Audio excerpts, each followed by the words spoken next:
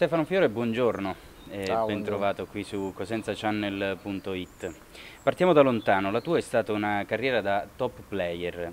In Serie A hai disputato 321 partite e 48 reti, nelle Coppe Europee 62 presenze e 9 reti, in Nazionale 38 presenze e 2 reti. Abbiamo tanti altri dati, però ci fermiamo qui. Quanto pesa restare lontano dal terreno di gioco? Ma in questo momento non molto, ma sono convinto che fra qualche, fra qualche tempo, non so bene quanto, credo che mi mancherà, perché poi quando l'hai fatto per una vita e, e hai speso tutto eh, quello, che, quello che è stato il mio passato per, per il gioco del calcio, è inevitabile che un po' eh, determinate cose ti mancano, soprattutto lo spogliatoio che ritengo poi sia il cuore, eh, il cuore di questo sport perché il contatto con i, con i compagni, con, eh, con, lo staff e tutto è quello che poi eh, è l'aspetto più, più bello, più vero. Hai deciso di lasciare il calcio perché hai perso stimoli o per quale motivo?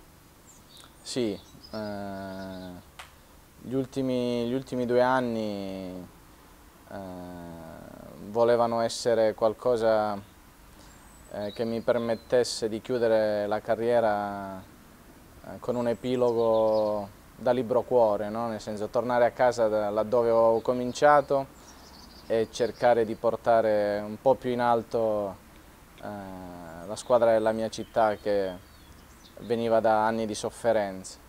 Purtroppo per tanti motivi non è stato così e soprattutto eh, il secondo anno è stato veramente eh, drammatico per quello che riguarda la mia, la mia, posizione, in quanto non solo non, non, sono riuscito a compiere quello che avrei voluto fare, ma eh, la strada è stata eh, complicata e devastata da tanti, da tanti episodi. Eh, per uno che è abituato a un certo tipo di calcio e soprattutto al professionismo eh, e agli, aspetti, agli aspetti più puri di, di, questo gioco, che è il gioco più bello del mondo, ma che va fatto in un determinato modo, hanno fatto sì che ecco, mi sono disinnamorato di, di, di questo mondo. Eh, e il fatto che ciò sia avvenuto a, proprio a Cosenza mi ha, mi ha, rattristato in maniera particolare. E non sono mai stato uno che ha voluto vivacchiare, quindi giocare eh, senza, senza, voglia, senza stimoli, confrontarmi con un ambiente che non ha, non ha saputo meritare la mia, la mia professionalità mi ha fatto propendere in questo momento per questa decisione che credo sarà definitiva, eh, ma che sicuramente in questo momento è molto, è molto ferma. Più avanti affronteremo proprio questo aspetto. Hai vissuto a Valencia, hai vissuto a Roma, ad Udine, in grandi città. Sei ritornato però a casa tua, perché? Perché a un certo punto mi sono reso conto che in un certo tipo di calcio non c'era più, più, posto per me e, e sinceramente non, lo, non, ho capito neanche le motivazioni. Eh, però al di là di questo, quando ti rendi conto di, de, di determinate cose, allora dai, eh, dai valore eh, ad altri aspetti. E io avrei potuto andare in paesi esteri a giocare, a, probabilmente anche guadagnare un mucchio di, di, di quattrini, però eh, non era quello di cui avevo bisogno, sentivo il bisogno di una nuova scommessa, visto che ne ho fatte tante nel, corso della mia carriera e forse la più bella appunto era quella di riportare il Cosenza eh, quantomeno in una posizione più decorosa e questo mi, ha, mi, allettava, mi allettava molto e mi ha dato quegli stimoli famosi che, che ti dicevo prima. Eh, le componenti quando feci questa scelta sembravano, sembravano esserci, poi man mano il cammino, ripeto, è stato sempre più impervio e, eh, e con, numerosi, con, numerosi, ostacoli eh, però non rinnego assolutamente la scelta perché quando l'ho fatta ero consapevole anche di questi rischi. E credo tu lo abbia fatto anche per restare vicino alla tua famiglia. Siete una famiglia molto unita, in questo periodo in Morto Simoncelli si parla proprio di famiglie unite, quella di Simoncelli era unitissima, è unitissima, la, la vostra anche tanto, Fiore ha deciso dopo aver girovagato di tornare a casa, dal papà, dalla mamma, dal fratello. Sì, anche perché sono andato via molto presto e anche in maniera inaspettata, quindi avevo lasciato qualcosa di incompiuto perché io giocavo per i colori della mia città, la squadra della mia città, quindi ero, avevo il massimo a 18 anni dalla vita, eh, soprattutto da questo punto di vista, perché rappresentare, crescere, rappresentare la propria, la propria città, vestire la maglia della propria città davanti a tutti gli affetti, agli amici, era qualcosa di, di molto bello e che avrei voluto eh, continuare a fare. Eh, purtroppo il calcio a volte va, va molto in fretta, ti cambia, ti cambia eh, le carte in tavola in maniera repentina e così mi ritrovai a 18 anni a dover partire e lasciare casa. Quindi eh, nella mia testa c'è sempre stato eh, il fatto di, di ritornare Forse l'ho fatto in un momento in cui non me l'aspettavo, però come ti ho detto prima eh, avevo chiuso probabilmente con un certo tipo di calcio e, e, e ho fatto questa scelta con il cuore ma anche con, con tanta voglia. Peccato poi l'epilogo non sia stato dei migliori.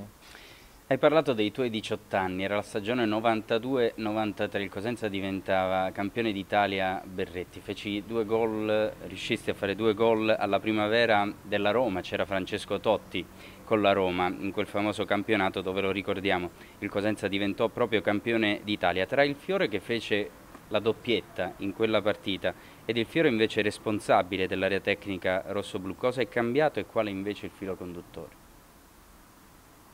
Beh, cambiato penso tanto perché comunque lì ero un ragazzino eh, che sognava di diventare un giocatore ma che eh, mai avrebbe immaginato di poter fare la carriera che, che poi ho fatto.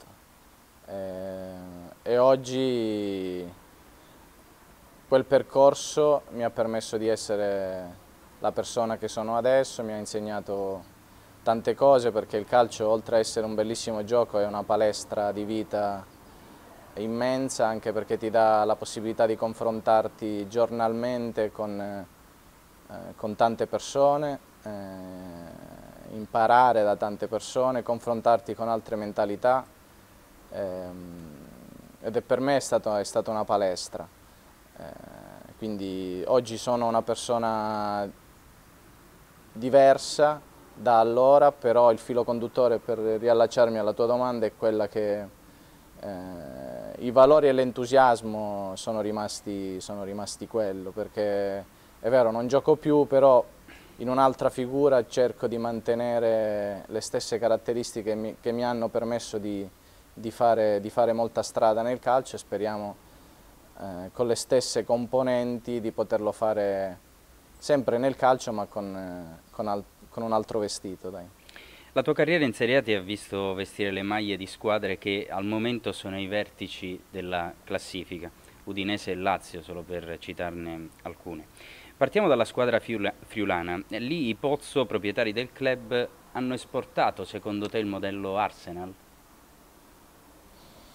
Sì, vanno molto, molto vicini a quel modello. Eh, forse anche eh, superandolo dico io perché eh, l'Arsenal eh, lo, fa, lo, fa, da qualche anno, i Pozzo probabilmente lo fanno, lo fanno ancora, ancora da prima, è una società modello da questo punto di vista, una società che ha un'organizzazione che gli permette eh, di stare alla pari con i grandi, con i grandi club eh, attraverso una, un lavoro straordinario perché non ha, non, ha, non ha, potenzialità e non ha voglia di spendere eh, economicamente le cifre che invece spendono i grandi club. Ha delle risorse interne che gli permettono di sopperire a questo. Punta, punta su, su, gente sconosciuta che gioca in campionati magari indicibili e indecifrabili, però alla fine ottiene, ottiene non solo risultati, ma vende questi giocatori alle grandi compiendo degli utili, realizzando degli utili eh, eccezionali. Eh, già ai tempi in cui andai io mi resi conto che era una società di un certo tipo, con, eh, con una serietà eh, sul lavoro incredibile e alla fine, salvo qualche rara eccezione di stagioni insomma, eh, che possono capitare storte, compie sempre campionati di rilievo e, e secondo me è la società migliore che opera nella maniera migliore in Italia. Pozzo ultimamente ha detto che il fiore all'occhiello dell'Udinese sono gli osservatori, perché loro danno credito ai loro osservatori a differenza di altre società. Sì, oggi ritengo che l'osservatore è una figura determinante in una, in, una squadra, in una, squadra, di calcio e soprattutto in una squadra che non ha eh, un Moratti, un Berlusconi alle spalle. Eh, bisogna programmare e avere la capacità di andare a scoprire talenti in tutto il mondo, quindi sono d'accordo con lui che la risorsa principale in questo momento per l'Udinese sono gli osservatori, chiaramente coordinati da, da, loro perché dopo tanti anni di calcio anche loro hanno un'esperienza tale da poter eh, giudicare, visionare qualsiasi, qualsiasi giocatore. Stefano, ci dai un giudizio su Guidolin e sul suo 352 che sta consentendo proprio ai bianconeri di restare mm, su standard elevati, seppur costretti comunque dal mercato a vendere i pezzi pregiati? Ma io di lui ne posso parlare eh, solo, solo che bene. Io non ho avuto la fortuna di essere allenato da Guidolin, ma l'ho sfiorato, in quanto arrivai a Udine perché mi volle lui dal Parma assolutamente, però eh, immediatamente dopo fu esonerato, quindi non riuscì neanche a fare un allenamento con lui. E, ehm, però quello che poi ha fatto nell'arco della sua carriera parla da sé, ha ottenuto risultati secondo me incredibili eh, con squadre mm, modeste o comunque non, non, eccezionali e credo che sia un limite del nostro calcio non aver eh, non aver considerato Guidolin alla stregua di, di tanti altri allenatori che per nome per passato hanno avuto possibilità che lui in realtà in carriera non ha mai avuto. Eh, però queste sono le stranezze del nostro calcio, adesso sembra essere alla ribalta, però allena l'Udinese. Insomma, un allenatore che ottiene risultati così importanti con squadre non particolarmente forti, farebbe pensare che le potenzialità per allenare una grande ci sono, però il calcio a volte è ingiusto ed è bello forse anche per questo. Per quanto riguarda la Lazio invece, tu sei molto legato a, alla Lazio. Il tuo addio nel 2004 fu un vero e proprio sacrificio voluto per cercare di far cassa in un momento catastrofico per la società laziale. È sfiorato l'era Lotito. Che idea invece del presidente biancazzurro e come giudichi Reia e del campionato che sta affrontando la Lazio? Ma Lotito è è un innovatore. Mi è capitato anche lui di sfiorarlo in quanto andai via pochi giorni prima del suo ingresso alla Lazio, dopo il crack eh, Cragnotti.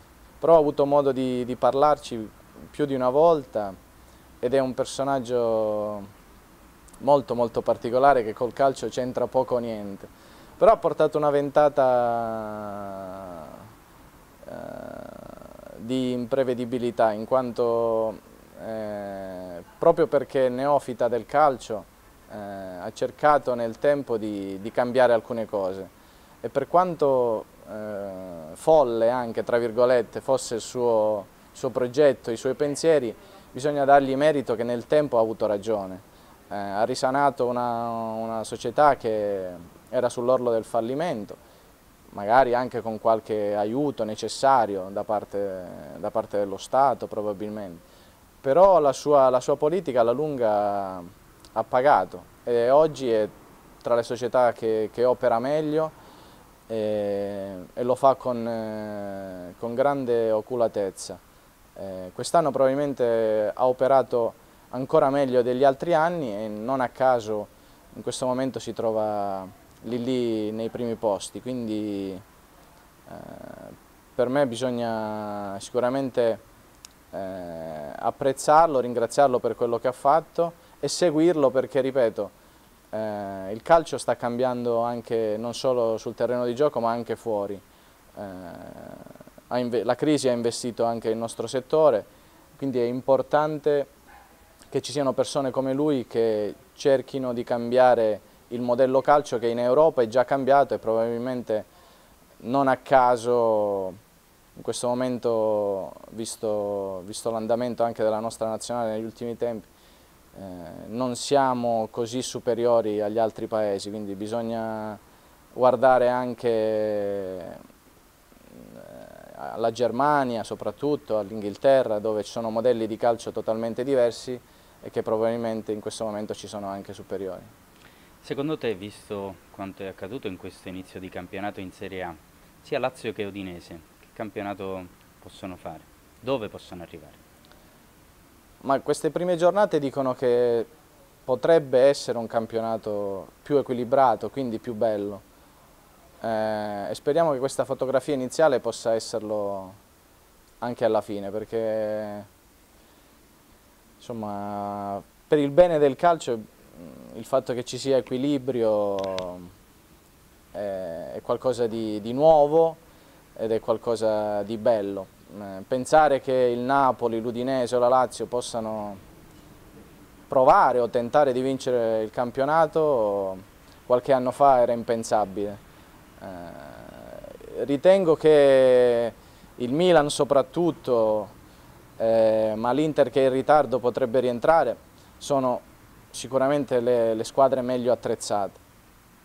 Però ci sono realtà che stanno crescendo e crescendo bene e io mi auguro che, che possano dire la loro fino in fondo, anzi mi auguro che quest'anno il campionato possa essere vinto da un outsider perché sarebbe bello insomma, che ci fosse una squadra nuova, tipo il Verona di qualche anno fa o la Sandoria degli anni 90, perché insomma siamo un po' tutti stufi di veder vincere sempre eh, l'Inter, la Juve, il Milan. Speriamo, speriamo per il nostro calcio. Veniamo invece all'attualità di, di, casa nostra. Possiamo dire che la tua nomina è stata voluta per acclamazione popolare, visto quello che hai dato al Cosenza da giocatore ed anche a livello umano, viste le vicende dal 2007 ad oggi. Ma questo non lo so, così si dice. Io spero di, um, eh, di rappresentare al, mo, al meglio la nostra, la nostra, cosentinità, così come l'ho fatto da giocatore, mi auguro di poterlo fare eh, da direttore, da dirigente, quello che sarà, perché è anche vero che ad oggi il mio futuro non è, non è stato scelto, ecco, è una strada che ho intrapreso ma che non so eh, dove mi porterà e se avrò voglia di di perseguire.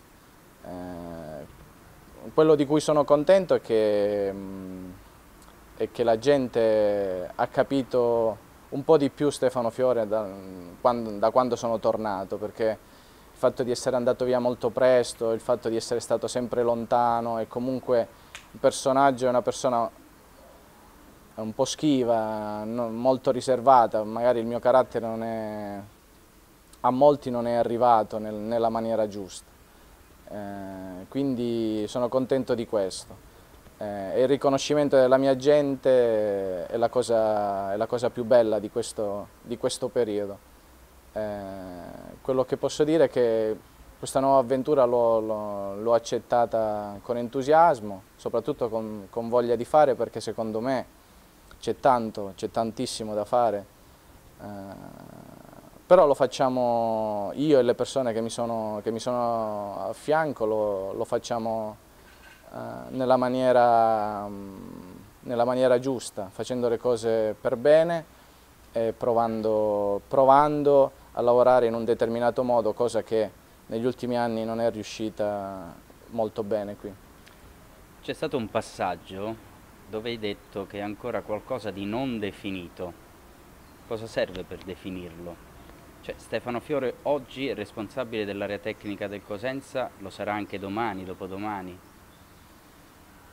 Non lo so, eh, molto dipende eh, dalle persone eh, con le quali mi confronto ogni giorno e che mi confronterò in futuro, perché ripeto, io ho un'idea ben precisa di come, di come si deve operare e di come probabilmente è giusto operare soprattutto in una realtà difficile come, come Cosenza in questo momento. Eh, oggi siamo purtroppo, ahimè, l'ultima provincia calabrese eh, in, per quello che riguarda il calcio naturalmente. E, e questo è, non ce lo possiamo permettere e deve essere motivo di sprone da, a tutti coloro i quali lavorano per questo, per questo progetto eh, riportare il Cosenza in una posizione più, più consona. Eh, per fare questo bisogna, bisogna lavorare, c'è bisogno di tempo, non bisogna illudere la gente pensando che perché ci chiamiamo Cosenza o perché abbiamo grandi potenzialità il lavoro diventa più facile o tutto diventa più scontato. Anzi, se è possibile è anche più difficile perché nello specifico, per esempio per quello che riguarda il campo, il Cosenza è la squadra da battere, quindi eh, ci sono notevoli, notevoli difficoltà. Abbiamo il vantaggio di ripartire da zero con persone nuove che vogliono cambiare le cose da, da tanti punti di vista, quindi mh, mm, il mio futuro dipende anche da, da questo. Se, se mi rendo conto che ci sono persone che sposano una certa linea, Mm, è chiaro che la mia presenza avrà modo di, di continuare eh, ad esserci e ad impegnarsi. Viceversa vedremo cosa, cosa, succederà. Durante la conferenza stampa di presentazione delle, delle nuove maglie hai sottolineato che il punto di partenza di questa nuova avventura è comportarsi in maniera differente rispetto a chi ha gestito in passato il calcio a Cosenza. Sembra che ci stiate riuscendo e questo dà fastidio a qualcuno, perché secondo te? Eh, perché purtroppo c'è gente, io ritengo invidiosa, c'è gente che vive e cresce sulle disgrazie altrui, che non vuole bene al Cosenza. Um, negli ultimi anni si sono vinti campionati, si sono uh, fatti dei progetti ambiziosi che però poi se non supportati da, da una certa professionalità, da, da certi valori, alla fine non solo diventano perdenti ma ti si rivoltano contro. Due fallimenti in pochissimi anni insomma, parlano, parlano da sé. E e per cambiare queste cose non è quindi importante vincere un campionato o, o riportare il Cosenza eh, in categorie professionistiche, mm, ma bensì farlo con un progetto, con un'idea che deve essere fondata su certezze future. Eh, però questo probabilmente a qualcuno non piace, eh, bisogna sempre vivere nel torbido, muoversi eh, alle spalle di chi lavora in maniera seria eh, e corretta, eh, per chi ha voglia di, di, cambiare le cose, non lo so, mm, non so cosa sinceramente spinga eh, queste persone a, a, ostacolare o comunque a, a, a parlare male di, di qualcuno.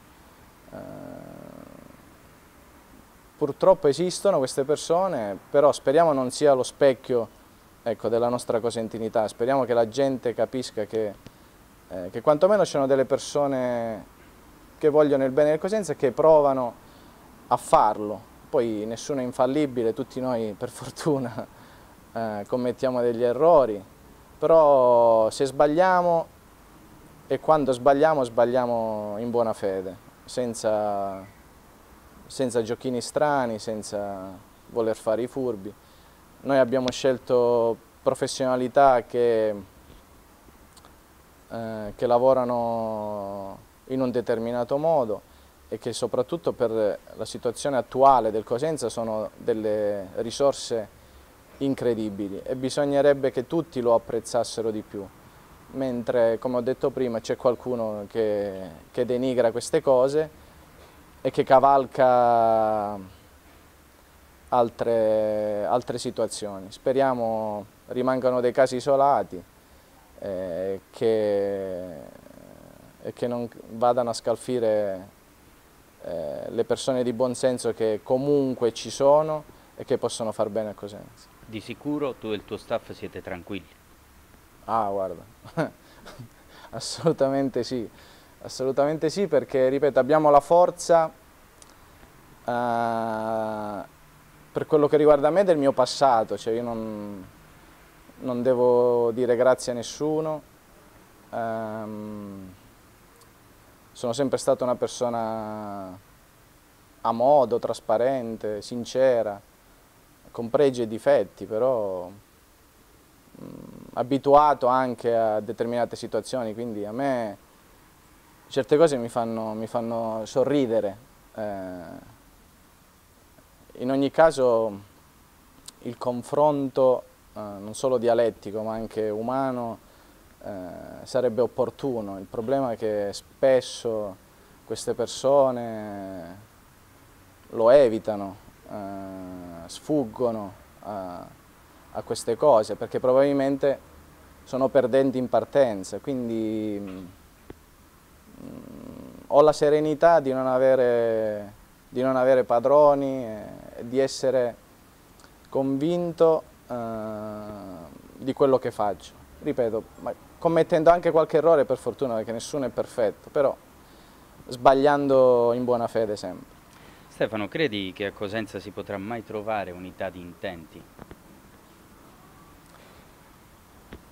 Sinceramente ti rispondo che in questo momento è difficile.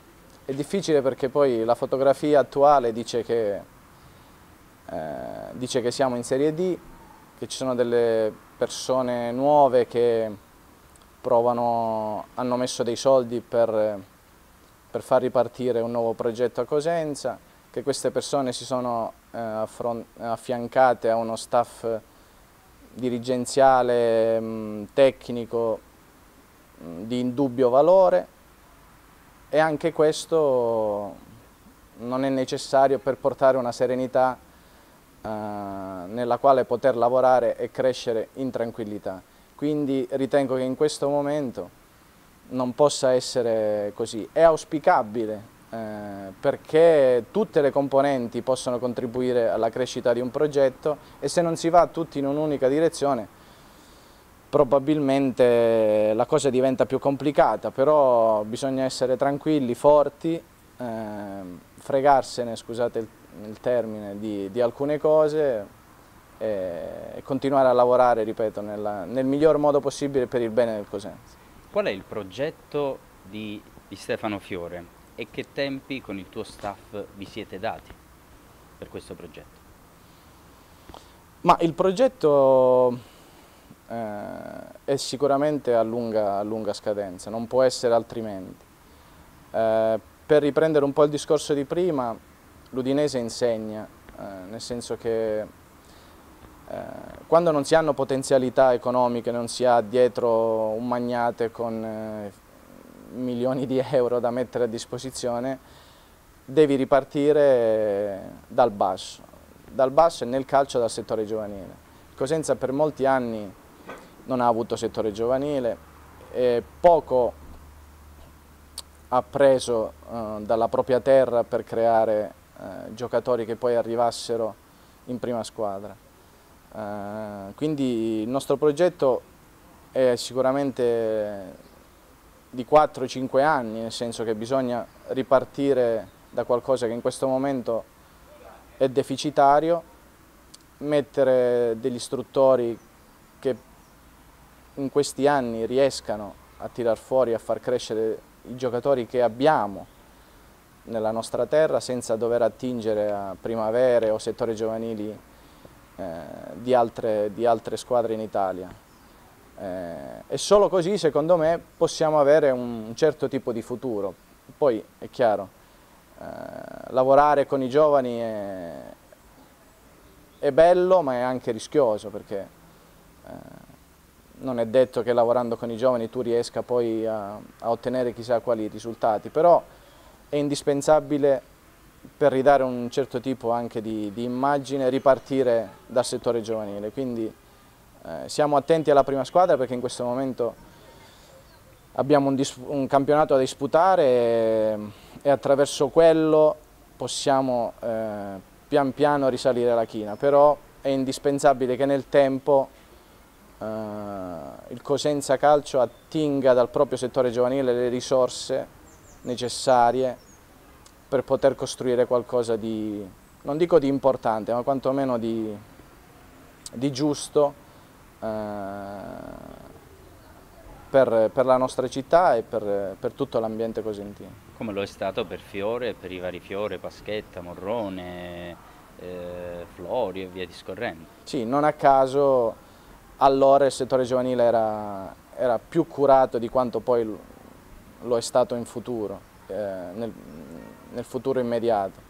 Eh, anche se poi quasi tutti quei giocatori che siamo venuti fuori eh, da quegli anni poco abbiamo dato al Cosenza in quanto nel momento in cui c'era da realizzare eh, qualcosa da un punto di vista economico insomma non, non ci si pensava molto su eh, invece secondo me eh, bisogna un po' invertire questa cosa perché i giocatori che hai in casa è giusto che crescano nella, nella, nella squadra di appartenenza. È chiaro che poi nessuno vuole precludere eh, un futuro roseo a, talenti che magari ci auguriamo di avere, perché nel momento in cui uno diventa troppo bravo, e ce l'auguriamo siano in tanti, per il Cosenza, eh, noi saremmo orgogliosi di potergli aprire eh, le porte di, di palcoscenici più importanti.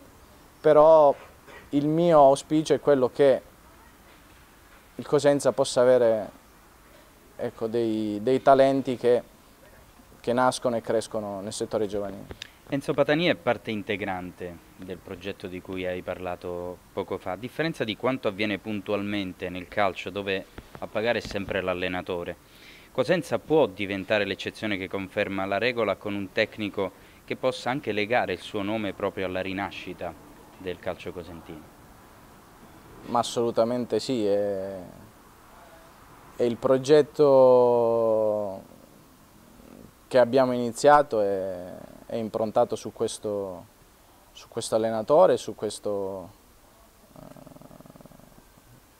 su questo progetto che abbiamo uh, pensato tutti insieme.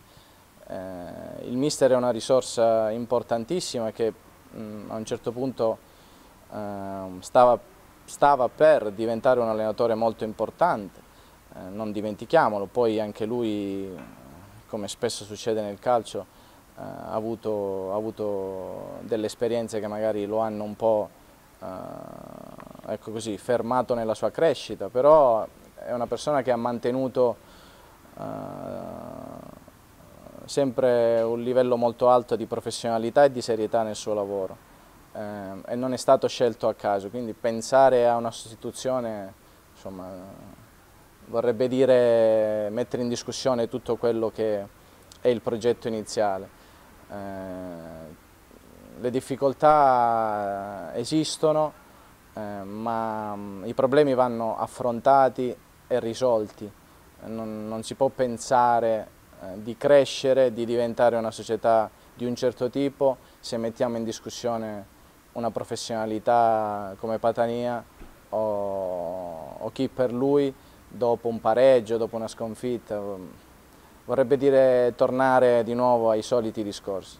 La gente deve capire che eh, ci vuole del tempo, eh, tutti noi vogliamo vincere e riportare il Cosenza laddove merita, però non vuol dire che bisogna farlo al primo anno o che non, non si possa sbagliare.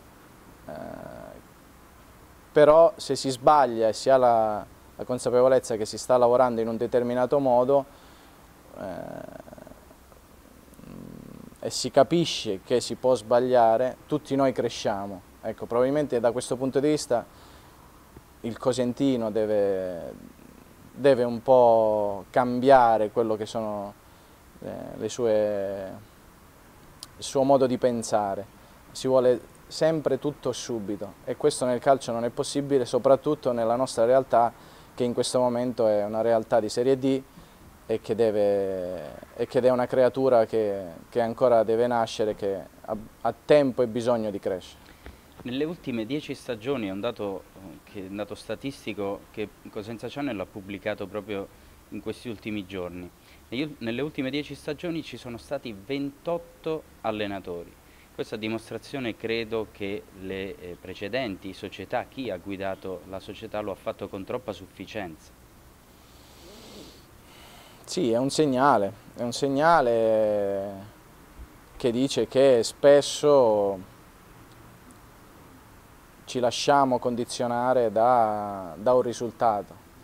Eh, invece bisogna avere la forza e la, capacità, e la, capacità, di andare oltre, perché il risultato è lo specchio finale di, di una partita, eh, però nei 90 minuti c'è la storia della partita in 10 partite ce n'è un'altra di storia, quindi bisogna imparare a leggere il calcio uh, e non lasciarsi trascinare solo da un fatto emotivo o umorale a seconda di come va una partita piuttosto di quello che dice una piazza o la gente per strada. Bisogna avere la, la consapevolezza, ripeto, di, del progetto e, e perseguirlo nella maniera nella maniera più netta e giusta, senza lasciarsi ecco, condizionare da, da quello che succede all'esterno perché è normale che un risultato positivo possa esaltare e uno negativo ecco, eh, far pensare delle cose diverse. Secondo te perché fino ad oggi Stefano la società non è mai uscita allo scoperto sottolineando quelle che sono le linee guida da te appena tracciate? Perché è una società nuova, una società nuova che sta capendo pian piano cos'è cos il veicolo calcio. Eh, è una società composta da nove soci e già questo è, se da una parte è, un, è una risorsa perché eh, vuol dire che più gente crede nel progetto, dall'altra eh, può essere un limite perché più gente deve capire determinate cose, più tempo ci vuole. Eh, non è un mistero che della nuova società tutti si occupano di altro e hanno avuto eh, a che fare col calcio poco o niente, quindi è normale che ci sia anche per loro un periodo di, di adattamento e, e di tempo necessario per capire le logiche del calcio che sono completamente diverse da qualsiasi ambito imprenditoriale, quindi bisogna dare a questa società eh, il tempo necessario per far proprie determinate cose e in questo senso la mia presenza spero sia sempre più coinvolta in modo tale da accelerare questo processo di crescita. Siamo quasi in chiusura, perché secondo te tutti i giovani talenti della provincia di Cosenza tendono a trovare gloria altrove? Ma perché probabilmente non, non, vengono, non vengono, seguiti e consigliati nella maniera, nella maniera giusta. Uh, spesso il problema io ritengo sia nella famiglia, uh, in quanto eh, spesso e volentieri eh, si esercita una pressione eh, forte e sbagliata su, sui propri figli eh, e si ha una visione diversa da quello che poi è la realtà. Eh, spesso mh, mm, se un figlio non, non gioca non si ha ecco, la calma di capire del perché, si va subito alla ricerca di qualche altra soluzione che lo, lo può mettere nelle condizioni di giocare. Eh, e questo da una parte diventa, diventa facile, ma dall'altra non, non si capisce che magari gli si fa un danno, soprattutto se si trova in un contesto laddove può crescere e capire determinate cose. Eh, quindi tutto parte dalla famiglia. Poi è chiaro, ci sono, sono realtà dove è difficile anche crescere perché mancano magari strutture, professionalità, competenze, ma io ritengo che a Cosenza qualcosa di buono c'è. L'importante, ripeto, è cambiare un po' questa mentalità mh, che, vede, che, vede, tutti eh, possibili giocatori. Giocare, giocare, a calcio è difficile, difficile. Arriva, arriva, uno su mille, come diceva una, una, canzone, quindi bisogna avere la capacità di capire che, eh, che innanzitutto a una determinata età eh, il calcio va vissuto come un divertimento, non come una professione. E nel momento in cui poi eh, arriva l'effettiva maturazione del, del, giocatore che si capisce se, se, può o non può fare strada. Eh, quindi il mio è un appello alle, alle famiglie perché è proprio lì che si comincia a formare il ragazzo e quindi bisogna bisogna capire che la strada bisogna che la faccia eh, in maniera autonoma e non fare delle forzature che poi possono diventare controproducenti. Ultima domanda. I tifosi parlano e tanto di promozione, è giusto anche che sia, che sia così. È impronunciabile questa parola, promozione. Non bisogna illudere nessuno assolutamente, però secondo te No, non è... Mm, noi, io per primo, non amo partecipare, quindi sicuramente eh, la voglia eh, di provare a vincere ci deve essere. Cosa diversa è dire e mettere eh, in bocca delle, delle parole che secondo me in questo momento non hanno ragione di esistere. Eh, Cosenza nasce pochi mesi fa, in ritardo soprattutto e con tante cose da fare, quindi mh, eh, bisogna rendersi conto di questo, eh, far proprio questa, questa, questa, cosa, questa situazione. La gente deve, deve credere nella promozione, deve sperare nella promozione, deve stare vicino alla squadra per sostenerla. Eh, però deve essere anche cosciente che è una cosa difficile e che non si ottiene solo volendola, ma devono esserci tante componenti per far sì che questo avvenga. Noi ci proviamo, noi ci proviamo perché, eh, ripeto, noi non vogliamo partecipare e riteniamo di, di essere una squadra, una società che pur, ripeto, con qualche problemino iniziale abbiamo la capacità di, eh, però ecco, non illudiamo nessuno dicendo che questa squadra è pronta per, per, la promozione perché potrebbe essere anche, come dicevo prima, controproducente. Quindi andiamo, voliamo bassi e facciamo le cose che dobbiamo fare eh, nella maniera giusta ma con la consapevolezza che dobbiamo mirare a qualcosa di importante. Io Stefano ti ringrazio davvero perché è stata un'intervista totalmente diversa rispetto alle, alle, altre, anche i toni molto pagati, del resto come, come, sei tu, spero lo sia stata anche per te.